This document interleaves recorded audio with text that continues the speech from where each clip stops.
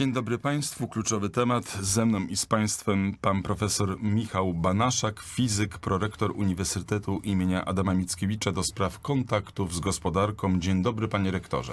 Dzień dobry panie redaktorze, witam słuchaczy Radia Poznań.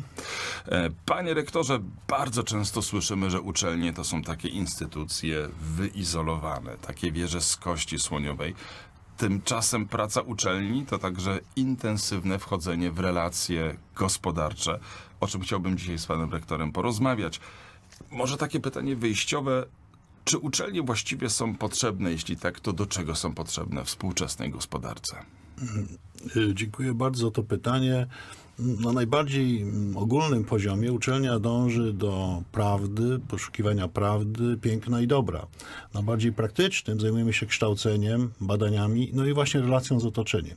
I relacje z gospodarką są częścią tej, część, y, są częścią tej, tej, tej trzeciej misji, czyli rela, budowaniem relacji z otoczeniem. E, Dlatego, że rzeczywiście no, nie chcielibyśmy być wieżą z, z kości słoniowej, chcielibyśmy być instytucją, uniwersytetem, która służy. Służy poprzez budowanie relacji y, z gospodarką, budowaniem relacji z naszym otoczeniem społeczno-gospodarczym bardziej ogólnie.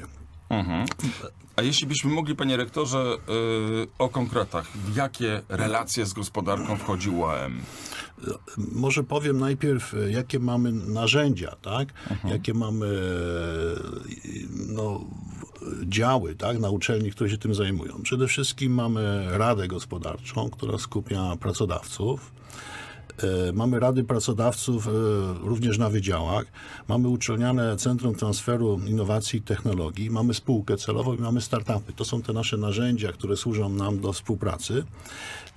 I współpracujemy, może powiem, w jakich obszarach, tak? gdzie, gdzie, gdzie nasz uniwersytet wykazuje się aktywnością, gdzie może wymieniać doświadczenia z gospodarką. I przy czym działa to w dwie strony. Tak? My pomagamy gospodarce, gospodarka może e, pomagać również nam w różnych przedsięwziął- e, różnych zadaniach, również, również f- finansowo niekiedy. Otóż mm, transfer wi- wiedzy i technologii odbywa się w, w wielu obszarach, zarówno w obszarach nauk ścisłych i przyrodniczych, jak i humanistycznych, co chciałem podkreślić, dlatego że, że nasz uniwersytet jest w dużym stopniu uczelnią humanistyczną. Mamy w tej chwili projekty w obszarze sztu- sztucznej inteligencji na przykład, e, tłumaczenia maszynowego. E, Mamy również e, projekty w obszarze obliczeń kwantowych. No, Podpisaliśmy umowę z firmą, z firmą IBM, ale również mamy współpracę z, z firmami polskimi.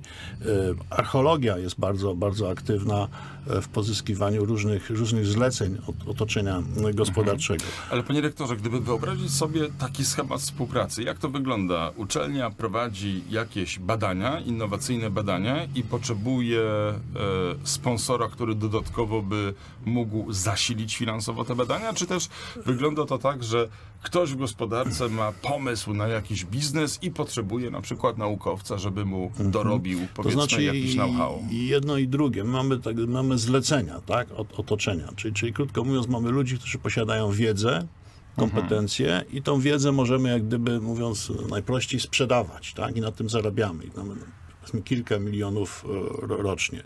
Ale działa to też w drugą stronę. Nasi e, pracownicy e, są pomysłowi tworzą nową własność intelektualną i na bazie tej wytworzonej własności intelektualnej my również możemy e, albo tworzyć własne spółki, albo sprzedawać poprzez licencję tę wiedzę. Czyli, Czyli jest naukowiec, on wymyśla coś, Tak, co zostaje opatentowane, tak? pa, Dobrze? patent to jest jeden z mechanizmów, ale również można własność intelektualną, że tak powiem, przekazywać na zewnątrz w inny sposób. Można wnosić tak zwanym aportem, czyli jak gdyby e, w formie mm, wkładu na przykład do, do, do, do, do startupu czy spółki, który, który tworzymy, prawda? Może to być... Jeśli pan dyrektor mógłby naszym słuchaczom przybliżyć y, słowo startup, nie wszyscy może są Oczywiście, z, z, z ogromną przyjemnością. Od e, wrze- września ubiegłego roku działa e, na naszej uczelni spółka celowa. Spółka celowa, która właśnie ma służyć e, naszym pracownikom do tego, e, żeby mogli e, tworzyć swoje własne spółki, gdzie wnoszą swój udział w formie własności intelektualnej. My nie wnosimy w formie kapitału, tylko własności intelektualnej. Czyli pojawia się firma, która, inwestor, tak, który chce zainwestować w ten pomysł naszego, e, naszego wynalazcy, czy, czy kogoś, kto stworzył jakąś nową własność intelektualną, na przykład w chemii, czy, czy, czy w biotechnologii. I, I my wnosimy własność, my właś- nasz wkład polega na tym, że, że naszym wkładem jest to, co wytworzył nasz pracownik intelektualnie, ta własność, dlatego że wszystko, co robią pracownicy na, na uczelni jest własnością uniwersytetu. Dopiero w drugim kroku uniwersytet może jak gdyby przekazać pracownikowi. I teraz my, my wnosząc e, te, ten, ten, ten wkład, budujemy spółkę. I to jest taki model, który bardzo jest znany na przykład w Stanach Zjednoczonych. Ostatnio miałem przyjemność być na Uniwersytecie St- Stanforda e, w, w Kalifornii, w Palo Alto. I tam właściwie wokół uniwersytetu powstała Dolina Krzemowa. Takie firmy jak, jak Intel czy HP, czyli ci potentaci. e, Google ma tam oczywiście też swoją... e, Wspomnijmy, że dzisiaj 4 lipca, czyli Dzień Niepodległości Stanów Zjednoczonych, więc dobrze się, dobrze się z tą rozmową wpisujemy, bo chyba to, co najbardziej charakteryzuje dzisiaj Stany Zjednoczone, to właśnie mm, potęga technologiczna i innowacyjna. Y, To może, panie rektorze, czy my te pomysły, które widział pan y, w Stanfordzie, widział pan y, w Kalifornii, w jakiś sposób y, u nas w Poznaniu na UAM przeszczepiamy, rozwijamy? To, znaczy, oczywiście to nie jest dokładnie to samo, ale mo- model w pewnym sensie jest ten sam, tak? To znaczy na, pracownicy uniwersytetu otwierają małą firmę, tak? E, na, podstawie tych e, rzeczy, które też często stworzyli na uniwersytecie i następnie ją rozwijają, szukając inwestorów zewnętrznych. Przypominam, że Uniwersytet Stanforda jest uniwersytetem prywatnym, ma budżet 8 miliardów dolarów rocznie, ale jest to uniwersytet prywatny, tak? czyli tam wkład pieniędzy publicznych jest stosunkowo niewielki. E, Jest to, jest, jest, są to pieniądze ludzi, inwestorów, bogatych. e, Ale 8 właścicieli. miliardów robi wrażenie. E, To jest więcej niż cały budżet szkolnictwa wyższego w Polsce, tak może, może dodam.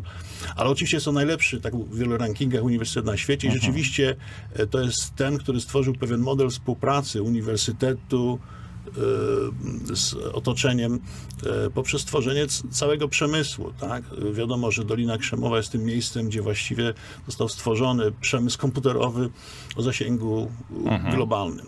I teraz jak to się dzieje? Naukowiec jest już w tej spółce. Rozumiem, że on też może sobie zarobić przez to, mm, że jest w tej spółce, y, y, może sobie skomercjalizować, tak to nazwijmy, e, tą wiedzę. Natomiast y, jaki jest zysk uniwersytetu, że w wyniku tej współpracy powstaje nowa wiedza, która jest już wykorzystywana na przykład w procesie badawczym, czy też jest, jakieś, jest jakaś inna forma korzyści dla samej uczelni? Jest, jest, jest kilka korzyści, może, może, może krótko o każdej z nich. E, e, Jest to przede wszystkim tak zwana komercjalizacja pośrednia i mm, ona jak gdyby podnosi naszą pozycję w rankingu.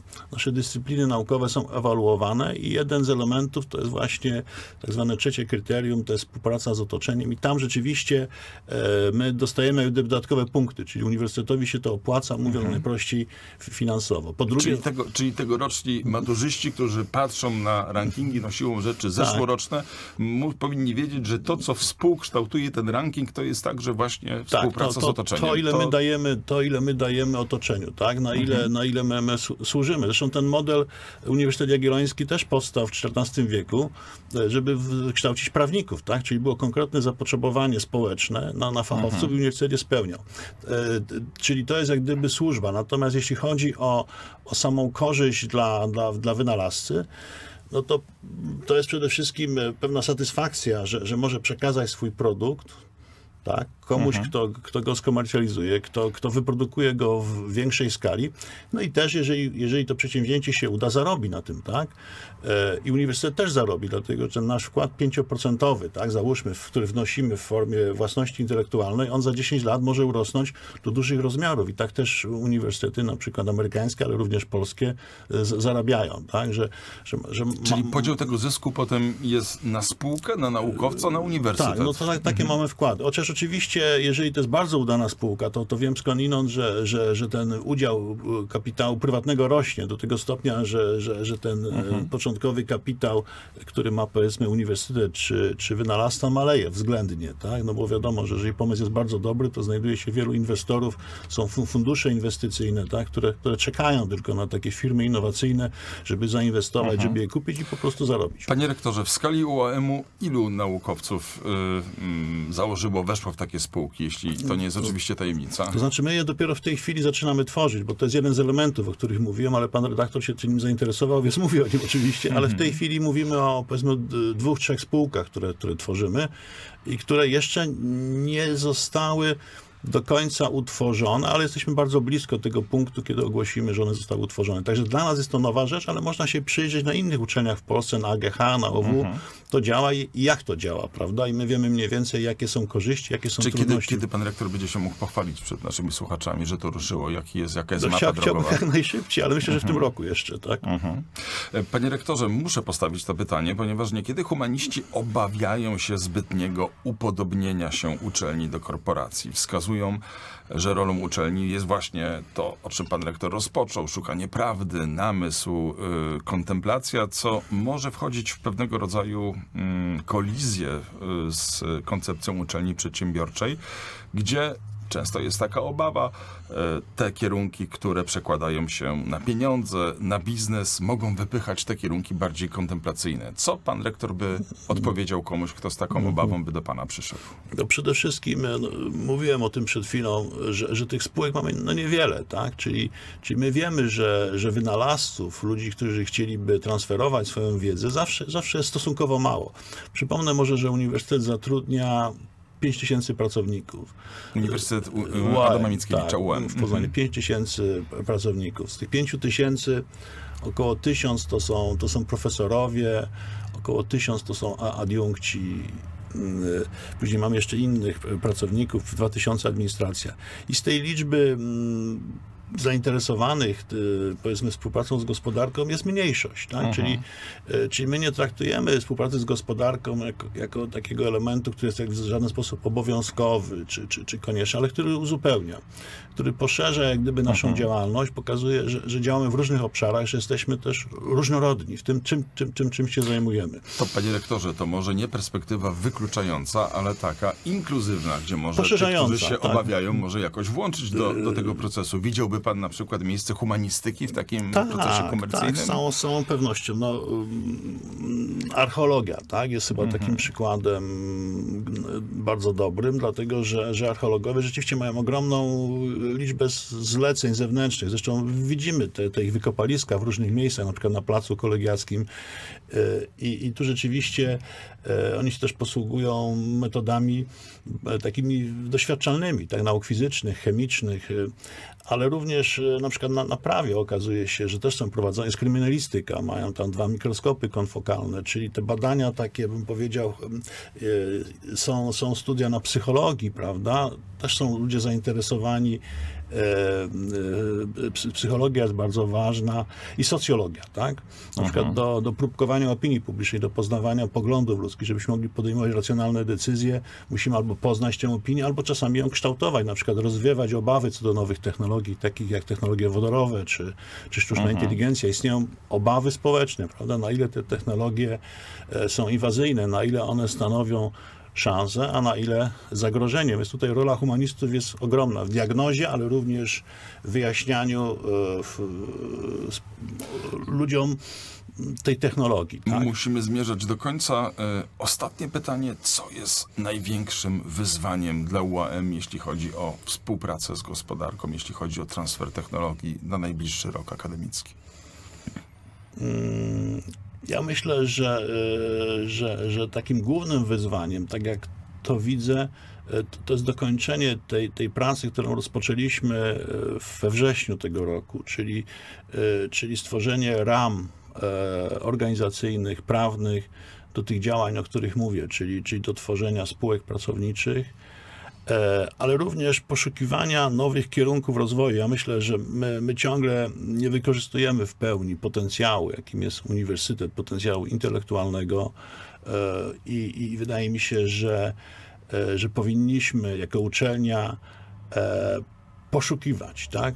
Poszukiwać tych możliwości rozwoju, dlatego że one poprawią nam jakość życia, e, pozwolą nam lepiej zrozumieć otaczający nas świat i, i służyć nam, znaczy uniwersytetowi, ale też całemu otoczeniu, całej Wielkopolsce. Postawmy tutaj e, kropkę. No, pan rektor w sumie naświetlił tematy do kolejnych e, rozmów. Mam nadzieję, że uda się jeszcze je kontynuować. Dziękuję panu bardzo za przyjęcie zaproszenia do studia. Dziękuję za zaproszenie. Ja się państwu kłaniam, życząc dobrego dnia. Cezary Koszczek.